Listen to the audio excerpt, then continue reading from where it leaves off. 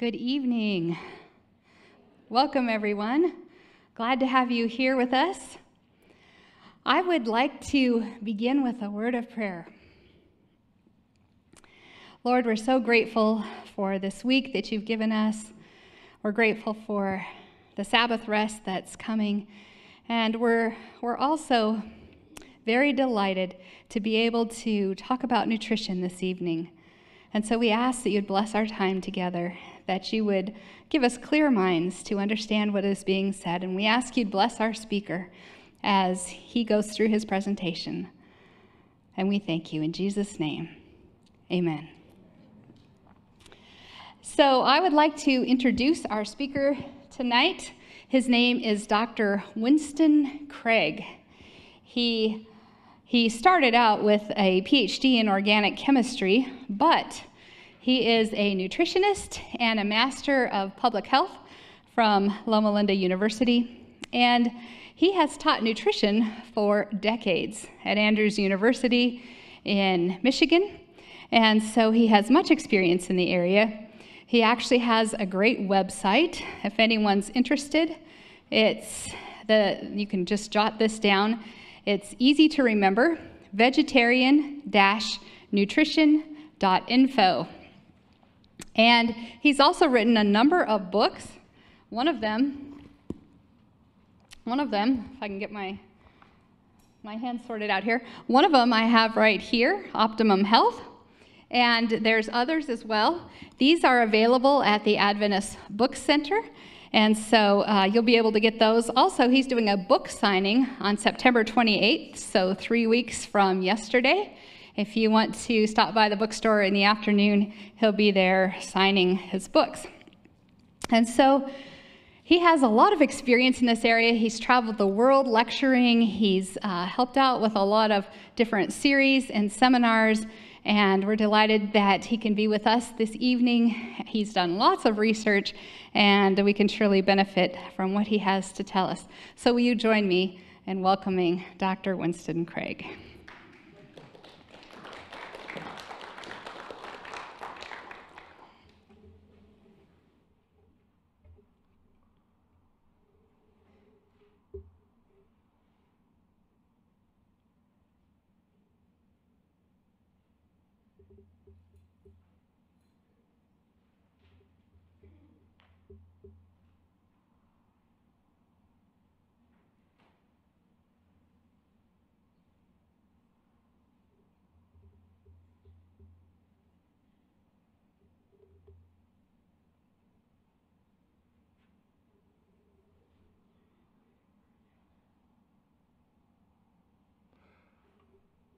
Thank you very much for the introduction. I'm happy to be here and share with you a little bit.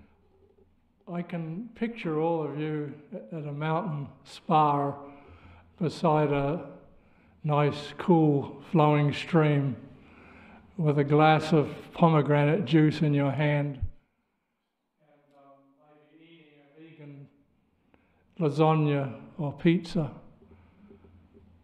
Can you imagine yourself there?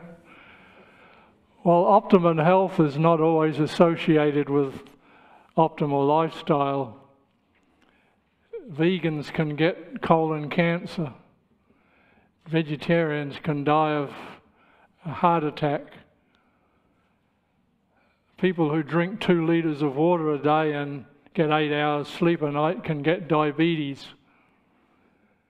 People who read their Bible every day and pray can get high blood pressure. So, what does it matter how we live? Hmm? Enjoy life to the full. Sooner or later, we're going to die.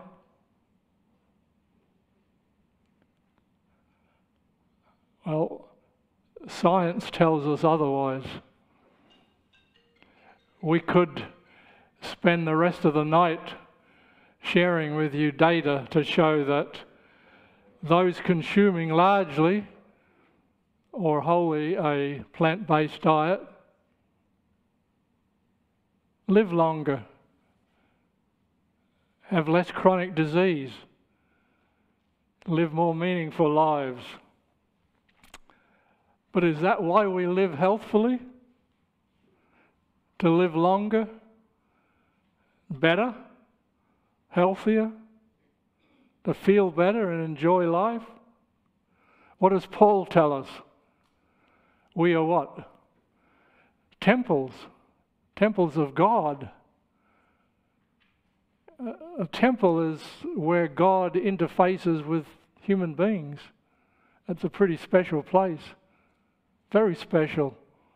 So special that some of us want to take good care of our bodies and follow the eight natural remedies and good science. God wants to live in us. We know Matthew 5 let your light so shine that we might glorify God. That's what living healthfully is all about. And it's not so easy to do that if we have a headache or a stomach ache or a backache or some other problem. So that's why we want to take care of our bodies, isn't it? And our minds and our social life and all of the other pieces and components that go into a healthy lifestyle.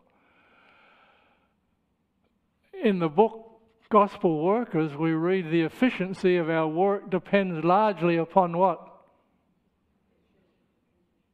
Our physical condition. We should preserve all our powers in a condition to give the best possible service. Now, I don't need to be telling you that, but I need to remind myself that's the reason for choosing a healthy lifestyle, so that we might give, what does it say? The best possible service. That's what our life is all about service, service to God. And in the, in the Torah, we read that being obedient to God's commands, God's instructions, ensures both the quality and the quantity of life that He gives, so that you may live and prosper, it's quality, and prolong your days. That's the longevity. In Bible, the word for health is shalom. And I, I mention this because it, even though we're talking tonight about nutrition, we can't do it in isolation. Nutrition is embedded in a whole cluster of things, and we'll talk more about some of this tomorrow with mental health and, and other things. But the word shalom in Scripture talks about the physical, emotional, mental, spiritual well being, the whole, the wholeness, completeness, tranquility. That's what it's all about. The state of mind, the state of your relationships, having life in balance. And this brings us to the, the word that we have in English. We don't have shalom. You know, Shabbat shalom, we say. It's the fullness of the Sabbath blessing for you. We have the word wellness. And we've got in front of us that word wellness. And you, you're familiar with the components that go into that. And nutrition may be at the center of this word, but it's surrounded by equally important things. The, the CDC tells us that we need to exercise every day, we need to get proper sleep every day, and eat properly. These are the three legs of the, the tripod of the kitchen stool that healthy life is founded upon. But there are other ingredients water, keeping your life in balance. That's the moderation. That's the problem with life today, isn't it? Everything's out of balance. From Washington all the way down to, to my house. Every community seems to be being shaped by different issues, one side or the other. So the Christian life is walking the straight, having loving relationships. We'll talk about this tomorrow. Very important. Somehow, as Adventists, we've been so focused on diet, we've forgotten that social connectedness is very important for good health. proper sleep, sunlight, fresh air, and managing stress. These all go in. You're familiar with the eight natural remedies. This is just a different formulation, but it's the same sort of idea. Now, there was an interesting study, it was published just last month, and it was in Britain looking at um, people who were following the Mediterranean lifestyle. Now, I'm sure if I asked who's heard of the Mediterranean diet, you'd all respond. You all know what that is. The diet that's practiced in Greece and Spain and southern France and Italy along the Mediterranean. Okay? But uh, this is an interesting study because this is outside of the Mediterranean. This is in Britain, nothing to do with the Mediterranean. So they had adopted the lifestyle into their culture. And what did they find? They found that those who followed it compared to those who practiced little of it had, what does it say, 30% less mortality, risk of all causes of death, 30% less death from cancer, and cardiovascular disease greatly reduced. And it was a dose response relationship. What does that mean? The more they followed it, the better the protection. It's a good scientific study when you can get dose relationship. That's very important. But there's more to the story. You thought I was going to talk about Mediterranean diet. But it was not just that. This is the fascinating part to me, is that you know we're familiar with that whole grains, fruits and vegetables, nuts and seeds, olive oil, etc. Very few animal products. It wasn't only that, but they also included exercise and sleep. And you'll notice the last thing listed there, highlighted socialization with friends and family. Don't forget it. This is perhaps for for some the missing piece. Mental tranquility and, and health and wholeness and wellness depends upon these other factors, including socialization, social connectedness. So, how are Americans doing? Pretty lousy. the CDC tells us that only one out of 10 American adults eats enough fruits and vegetables. And we need to be eating about five servings a day of vegetables and three or four of fruit. Only one out of ten Americans are doing that. So we have a message to share with our neighbours. So uh, we, we come more close to home and we say, well, there's Mr. Casual.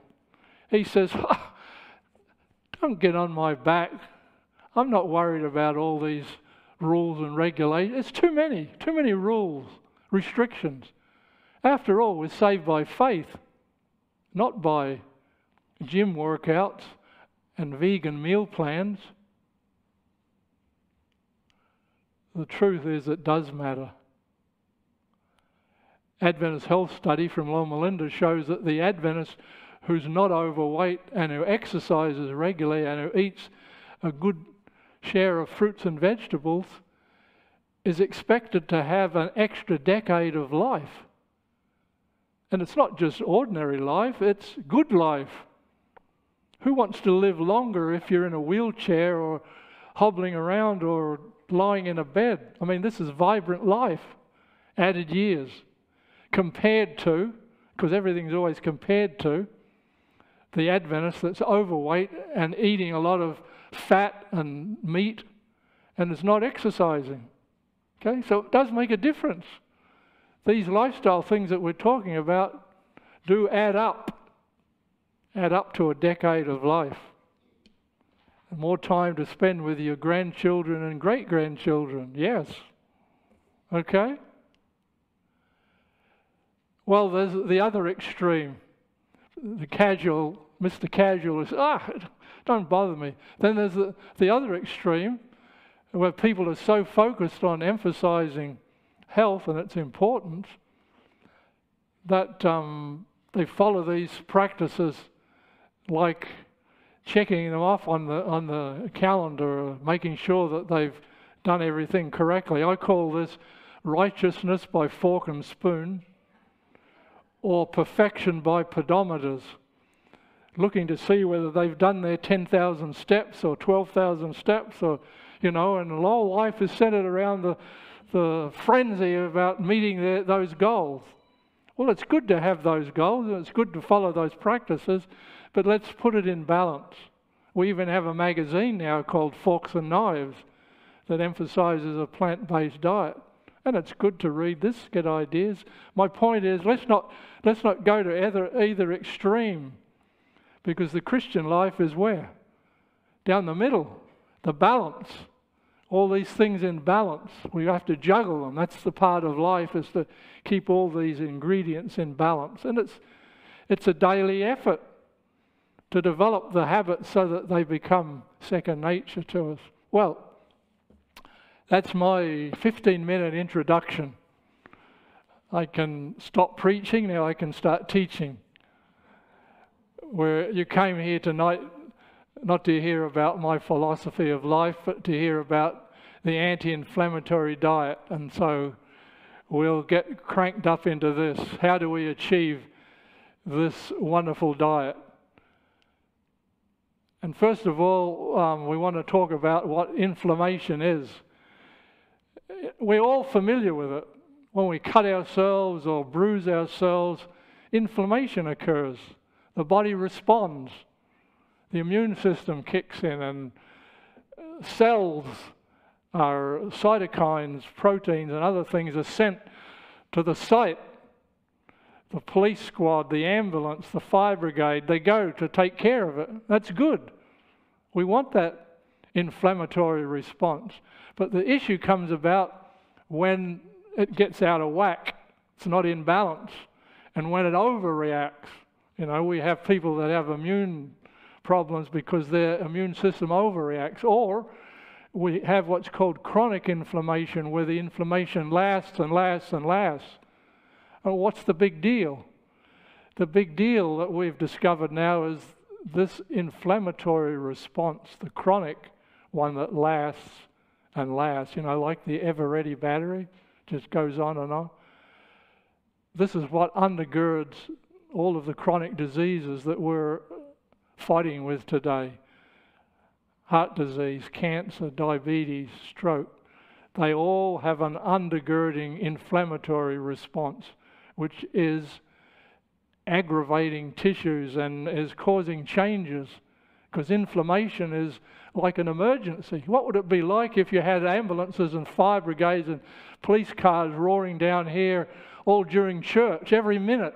You'd be driven crazy. Well, that's what it's like with inflammation in the body. It, it doesn't handle what's only for an emergency situation. So, fortunately, what we eat can push us into inflammatory or can be fighting the pathways that lead to. There are different processes. And plant foods, but not animal foods, plant foods have compounds that are provided. And most of these are what we call phytochemicals. Now, you might shudder at the word chemical and think, you know, chemicals are not good, but these are plant chemicals in our food that the Creator put there for our protection. They're there in the plant to protect the plant against solar radiation, insect attack, etc. But when we eat them, they provide protection. And so, pigments, the more pigments we eat, the better. The more rich the reds and the greens and the yellows and the purples, the better, because these are the protective antioxidants that have anti inflammatory activity. So the coloured fruits and vegetables are the best anti inflammatory defense you can have. Berries are, are very good. So colour means protection. Okay, that's a good message to take home tonight. Colour protects you. So the outer leaves of the vegetables that are face solar radiation, they have more of these protective than the inner heart that might be crisp and maybe your favorite, but those straggly old outer leaves actually have more of the anti inflammatory. The skins of fruits are higher level than the pulp because you end up eating more pulp, so you're going to get a lot from eating the pulp. So it's not a matter of just eating the skins. But a lot of the fruits we eat, like apples and pears, the flesh is white. Whereas things like peaches and oranges, there's colour inside, and so that flesh inside has those protective pigments. And then the pellicle or the skin around peanuts and walnuts and almonds, that's loaded with phytochemicals. So if you blanch the nut, you're, you're tossing away all those phytochemicals. The seed coat in legumes like black beans and red kidney beans and so on. Those pigments are also have anti-inflammatory activity. Using extra virgin oil, which has this dark green yellow color. Don't ever buy pure olive oil. It's not pure. That word is a trick. It's olive oil that's been purified and removed of all the good things, and then they add back a little bit of the virgin to give it some color so that you don't think, you know, you're buying kerosene or something because it's transparent. So always look for the label extra virgin. Okay, and then grains, of course, you want the whole grains because it's the outer layer where all the anti-inflammatory compounds exist. So that just mention the extra virgin oil, you know, tyrosol and and um, other compounds that are there, polyphenolics. These these are anti-inflammatory, and what have I connected anti-inflammatory compounds with? Protection against stroke, heart disease, cancer, diabetes, etc. The chronic diseases. Okay, so that's what we see. Olive oil protects us. Okay, now in addition to the coloured pigments, another thing that plant foods helps to protect us with is the fibre. Where do you find fibre? Well, it's in whole foods. It's not going to be in apple juice, but it's in the apple. It's going to have little in apple sauce because it's disrupted. It's not going to have the same effect. So, eating the whole food with the fibre, and of course, the fibrous material in, in meat is not the fiber we're talking about. So it's a plant food property, and this um, the the fiber is broken down is broken down to what we call short chain fatty acids, SCFA, and these are anti-inflammatory. So the the microflora in the gut make they metabolize these compounds that impact the immune system that make anti-inflammatory compounds or influence these pathways that are protective. Okay? So how do we get these good microbes in our gut? By eating plant foods that are high in fiber. White bread, white rice, white sugar, forget it. Okay, we're talking about whole grain products and eating the whole vegetable, the whole fruit, and so forth. Okay, so we give a couple of examples here butyrate and propionate. These are um, uh, uh, butyrate inhibits pro inflammatory cytokines, which are small proteins, and propionate is another small metabolite. It suppresses the pro inflammatory um, production of, of this, this compound, which is involved with inflammatory responses. So dietary fiber, wonderful, impacts the microflora. The microflora control your health. You probably knew that, that there's more cells in your gut than there are in the rest of the body. So taking good care of your of the microflora in your gut is of utmost importance. Animal foods, on the other hand, are, are a downer. They contain these three substances, choline, carnitine, and betaine, which make um, trimethylamine, TMA, and that's metabolized in the body to the oxide. And this is a nasty critter. You can't see it in the diagram, it's too small. But this compound mediates the, the development of cancer and diabetes and all the bad things. And so we have, on one hand, plant fiber changing the flora to produce metabolites that protect us and animal products that are metabolized that produce pro inflammatory markers. So that's the choice that one has. So Hippocrates, a long time ago, 2,500 years ago, he made the statement, let food be your medicine. He didn't realize how true that was. But that's the situation we find ourselves in today with all the new research, the science coming out. You know, some people are a little bit skeptical of science, but science explains to us things that we can follow and enjoy better health. Science and God's handiwork are one and the same thing. It's the interpretation that can be questionable, and people who don't interpret science correctly can come to the wrong conclusions. But we should trust good science, and I say good science.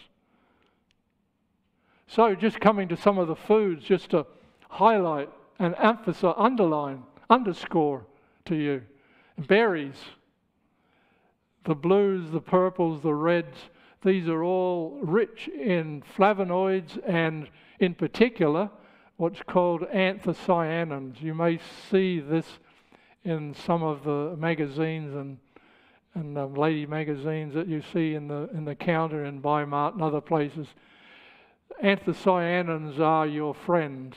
These are some of the most potent antioxidant, anti-inflammatory compounds in our food.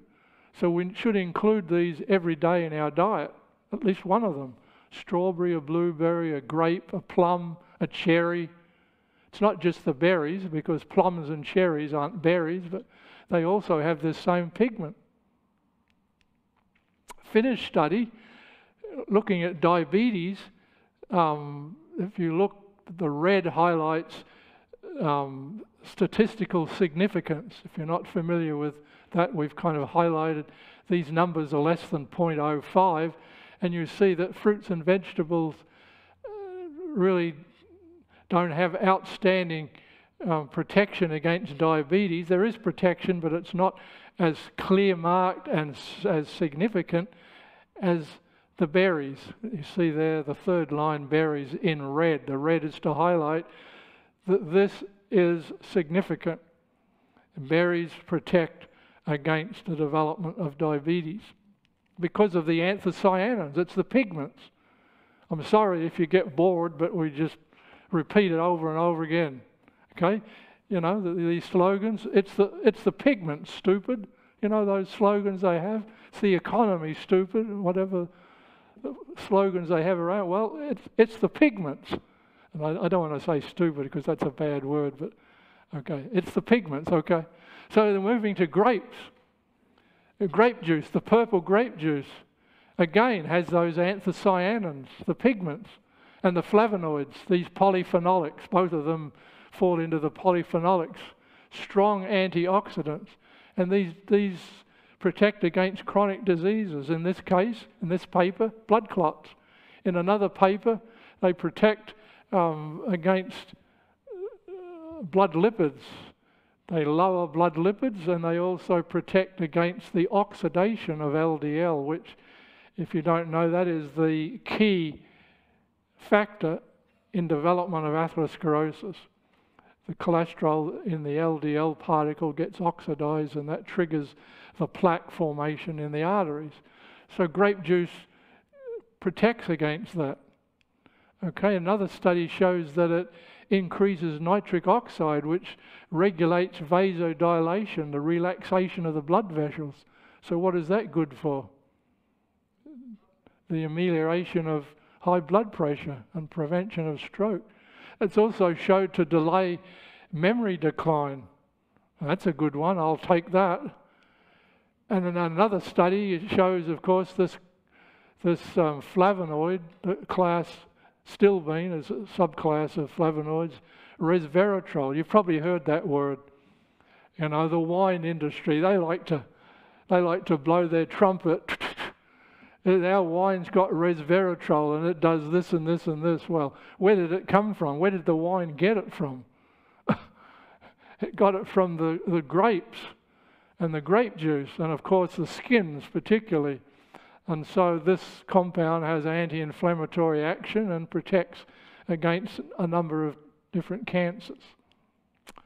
Pomegranates. Uh, we had you sitting by a, a stream back there in that mountain spa, remember? We started off.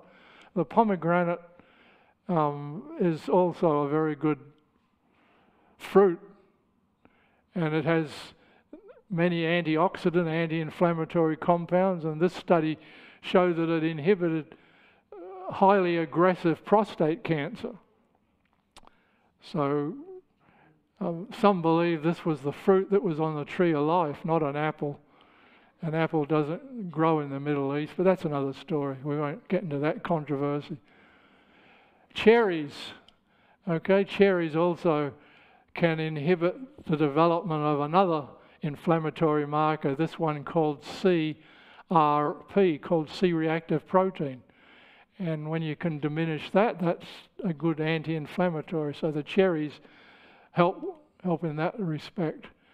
Flavonoids, which are all through the fruit and vegetable kingdom, they are very protective against inhibiting um, CRP.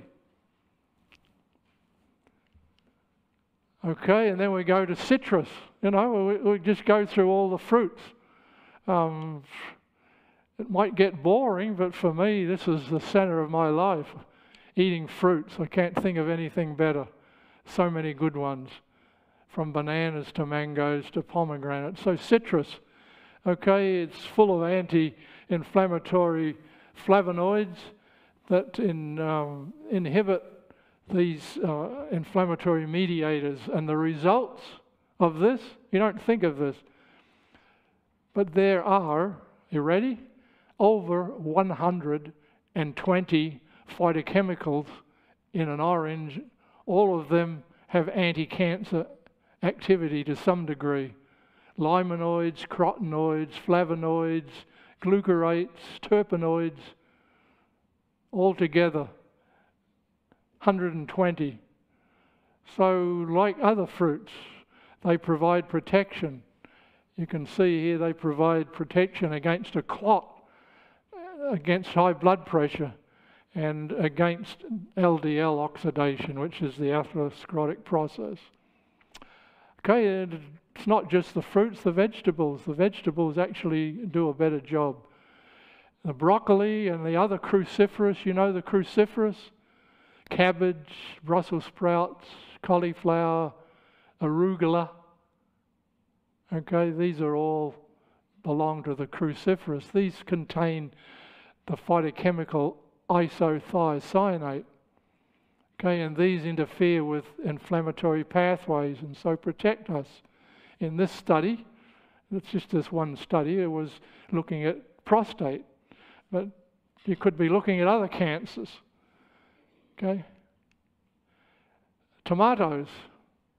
This was from Loma Linda, Adventist Health Study. Okay, eating eating less than one, that's the blue bar. Okay, we set that at one. Eating almost daily tomatoes, what do you notice? That's the red bar. More than five servings a week, that's like almost one a day. Um, if you have, have them in the garden like we do, you'd nibble on them maybe twice a day for breakfast and for lunch. But um, you'll notice the decrease in prostate cancer 40%. That red line has come down to 0.6, that's 40%. Well, it's not only tomatoes. If you have good eyesight, you can read at the very bottom that the reason for it is this red pigment, a carotenoid called lycopene. Some of these names may be new to you, some of them you may have read in magazines. The redness in tomatoes, it's the lycopene. And there are other red foods which have also this lycopene. You may not like uh, tomatoes like I do. Maybe you want to eat guava, watermelon, papaya, or pink grapefruit. Take your pick.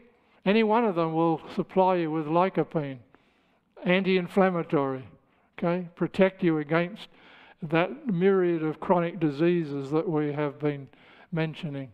And then we have the what's called the Apiaceae family, this family of um, plant foods, also called the carrot family. It contains celery and parsley and dill and cilantro.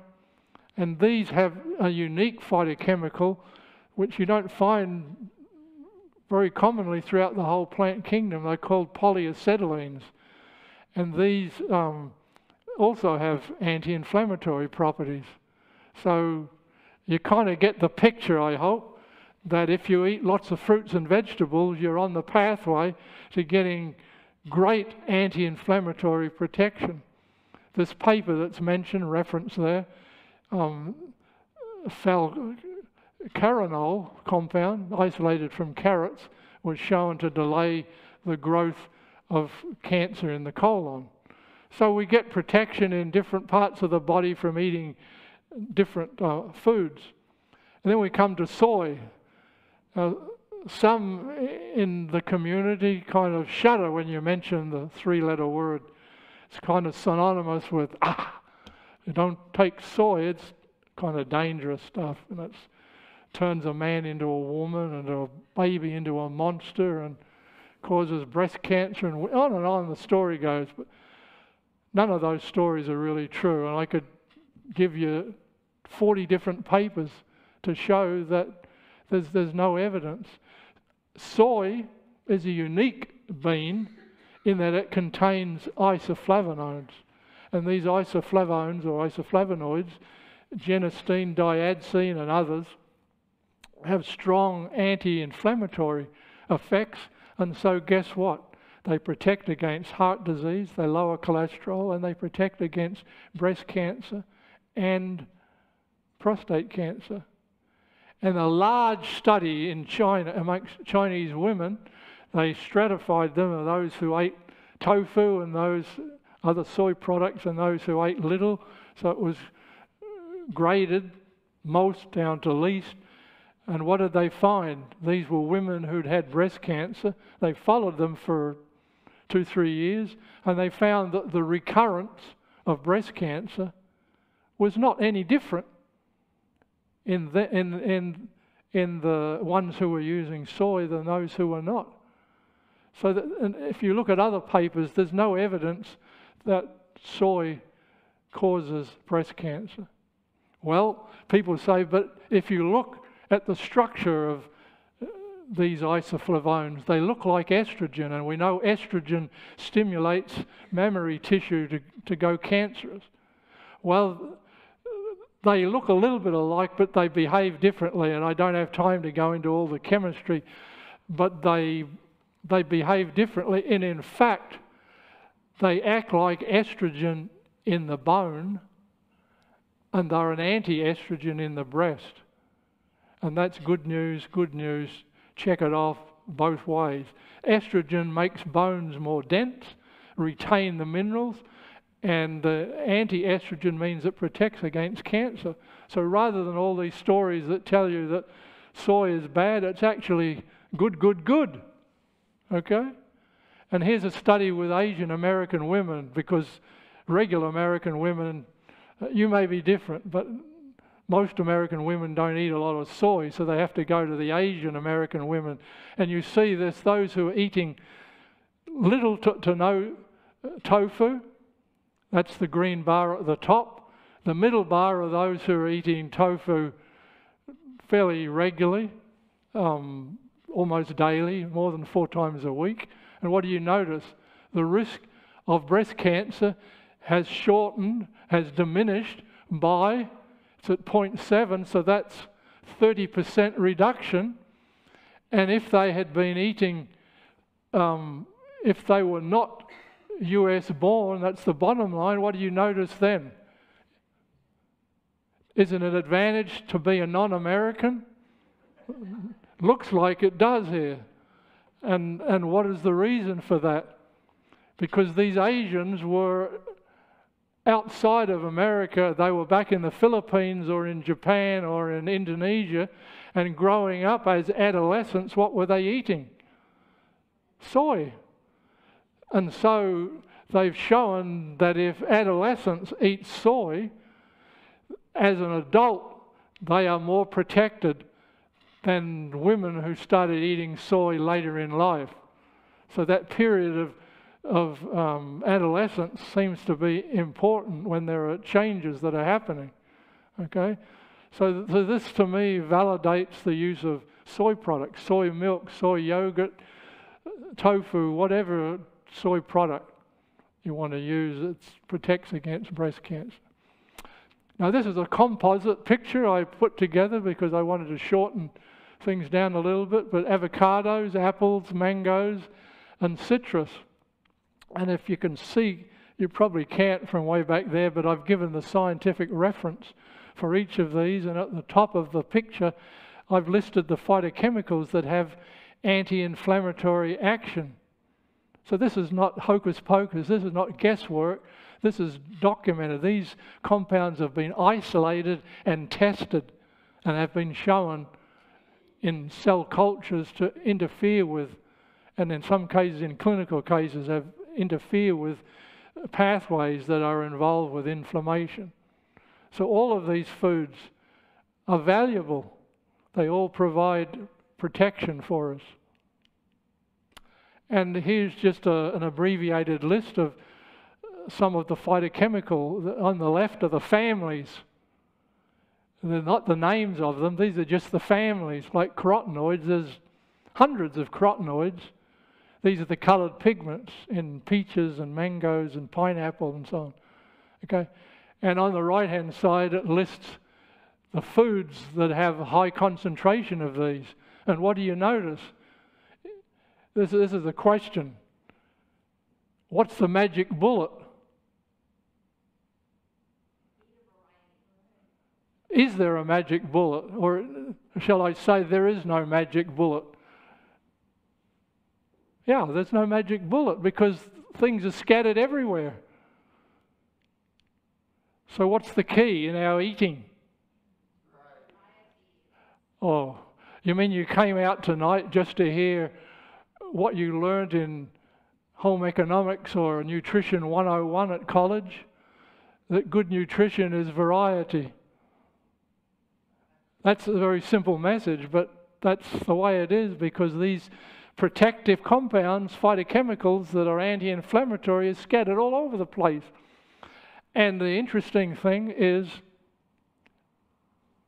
oh, I'm sorry, I thought the next one was. The interesting thing is that there's like 25 different mechanisms. I thought I had that up, but I've deleted that slide because it's very biochemical and it might cause your head to swim a bit. But there are different pathways that these compounds interfere with or promote or block in, in their anti inflammatory effect. And guess what? Those different phytochemicals act in, on different pathways. So by having variety, you get the whole mix instead of just harping on a handful of them. The other in- interesting thing is there's synergy. You know what synergy is? It's the new math. You heard of new math? One plus one equals three. You know how that happens? Well, that's synergy. Okay? When you have tomatoes and you have broccoli and you eat them together, the phytochemicals in one and the phytochemicals in the other don't act independently. They support each other so that the net effect is greater than the sum of the individual components. That's what synergy is all about. And the lycopene in the tomato and the isothiocyanates in the broccoli act on different pathways. You see why I mention that? They act on different pathways. That's why there's an enhanced protection. So, whole foods are best, right? To get your fiber, to get all your pigments, because the skin often has all the pigments, many of the pigments, or majority of the pigments, but not all of them. So, eating the whole food, you get the skin, the fiber, the color. It's good, okay? And it tastes a lot better. I'm sorry, but good whole wheat bread is way ahead of this Wonder white bread. You know, that's endosperm and starch and depleted of, I don't know if you know, but 90% of the fiber is lost 80% of the phytochemicals are lost. It's depleted. So eating the whole food is good. So here's, here's some quick examples for you to, to ruminate on. Take a vegetable, lettuce, one of the polyphenolics. All of these are anti inflammatory compounds. Quercetin in onions and vegetables. In the outer leaves, you see the amount milligrams per kilogram or parts per million. And then look what it is on the inner leaves. This is what I told you before. So don't strip the lettuce or what cauliflower or whatever and throw away all the things that look like worms have crawled over them. they may be the best part of the vegetable. The wheat, ferulic acid. Ferulic acid is a potent antioxidant, fairly unique in grains. And notice how high it is in whole wheat, and yet in white bread, look how little it's left. Very little. Ellagic acid, this is another polyphenolic in walnuts, and 95% of it's removed when you get rid of the skin. So the whole food is important if you want to get full maximum 10 year warranty or whatever you want to call it.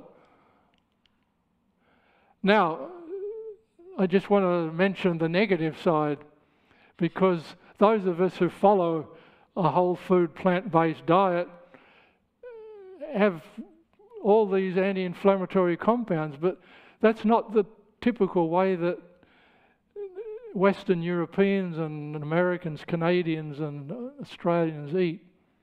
They eat a lot of uh, junk food, high sugar, okay?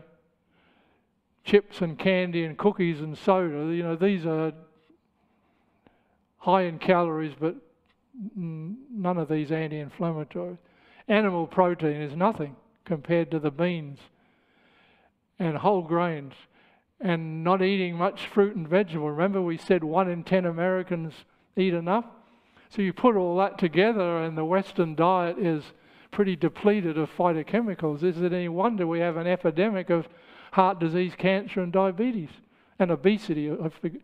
I'm sorry, I forgot to include obesity in that list from the very beginning. But obesity is right up there, and actually it undergirds all the other chronic diseases.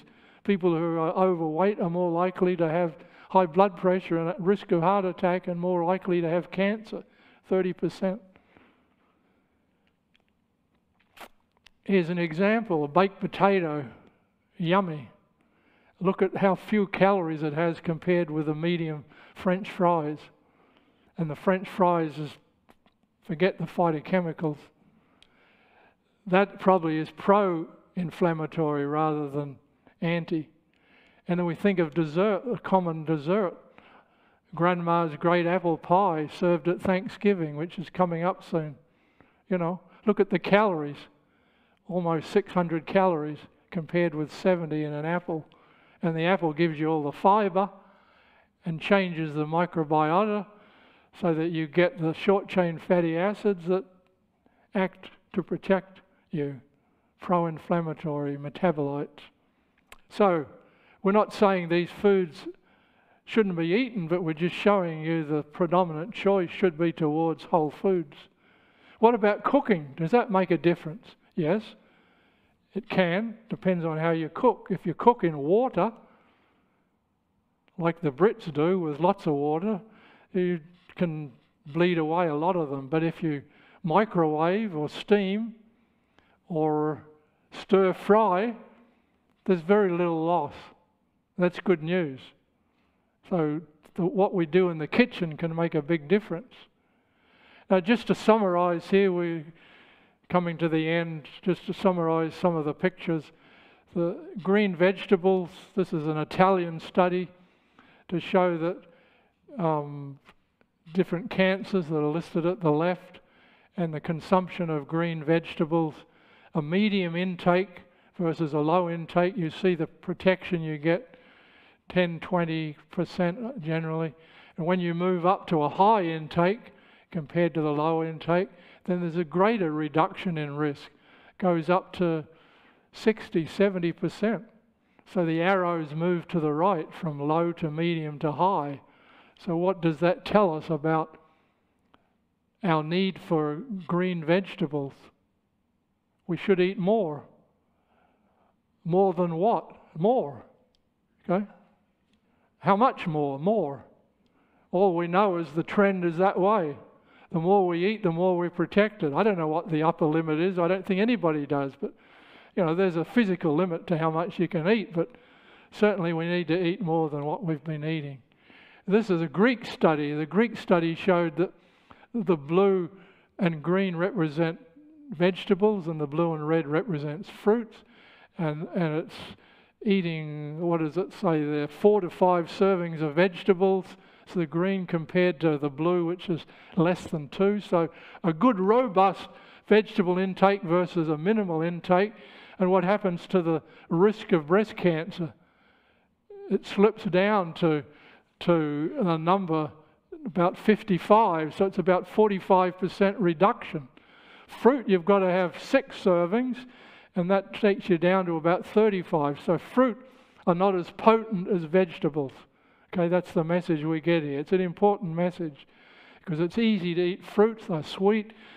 Kids don't like vegetables, uh, Brussels sprouts, broccoli, cauliflower, you know, they have a little bitter taste. But guess what? You know what that bitter flavour is? It's the phytochemicals, the isothiocyanates that are protective. So if you try to eliminate that bitterness, you eliminate all your protection. And this is another study that was um, conducted over 52 studies, and they basically found that people who ate the typical Western diet had 35% increase risk of heart attack, whereas those who ate more fruits and vegetables, 30% lower. So this is typical of all the literature I read. Eat plant foods, the risk goes down. Eat more animal foods, the risk goes up. So you have to balance where you want to be in terms of tolerating your taste and culture and, and health needs and so on. Now, I, have talked all, all so far about fruit and vegetable and, and, and a little bit about grains, but I, I want to show you that other foods, and just quickly, just one picture from each legumes. Okay, legumes are also full of bioactive compounds, these polyphenolics and antioxidants that have anti inflammatory activity. So they also protect us against elevated cholesterol and against various cancers. Whole grains, the, the nurses study in Boston done at Harvard with um, women nurses, uh, it was like 35,000 nurses that were tracked over many, many years, and they found that those that more commonly ate their breads and cereals as whole grains compared to those who had refined grains, this is the protection they got. 38% lower diabetes, 33% less coronary heart disease, and 43% less stroke disease. By doing what? Just making sure that they ate whole grains instead of refined. That seems like a very simple change in one's diet. And now, what about nuts? Just concluding with nuts here. Walnuts, of course, are loaded with polyphenolics and omega 3. And resveratrol that we talked about earlier in grape juice, you'll see it's also in pistachios and in peanuts. And there are other um, anthocyanins and flavonoids. I won't go through the list, but it's here to impress you that many nuts have a whole variety of different phytochemicals, antioxidants, anti inflammatory, good protection. Beans, fruits and vegetables, whole grains and nuts they all do the trick. And here there's the effect of eating, eating regularly nuts. It lowers your cholesterol. The line across the top is zero. The numbers going down represents suppression. So your bad cholesterol, LDL, from eating these nuts. Uh, and you might ask, well, which nut's the best? Well, they all go down, don't they? And if I tell you that macadamia is the best or pecan's the best and you hate that nut, the message is lost. So you look at the list and you choose which one you like and you promise me you'll go to Safeways and buy it, that's the one. Okay? It's the one that you'll eat because they all do the good job of lowering your cholesterol. And here, this is a compilation of a number of studies that show that risk of heart disease decreases 37% when you're eating nuts four times or more a week compared to basically not eating them. Not only heart disease, but diabetes. Eating nuts, going to the left, that's what is that about? 15% from eating nuts one to four times a week, eating them almost every day, goes up to almost 30%, and even poor old peanut butter comes in there, eating that almost regularly, decreased 20%. Uh, peanuts are legume, but legumes also behave like nuts in that they lower cholesterol, so it's we classify it with the nuts. Okay, so in conclusion, I just want to throw in this curveball, and that is that plant based diets are not only anti inflammatory for you and me, but they're also anti inflammatory to the planet. And should we be concerned about the health of our planet when we look around us and see fires and floods and calamities and what have you? plant based diets are much kinder to the environment. It's estimated that a, a meat based diet requires more non renewable energy and produces more greenhouse gases.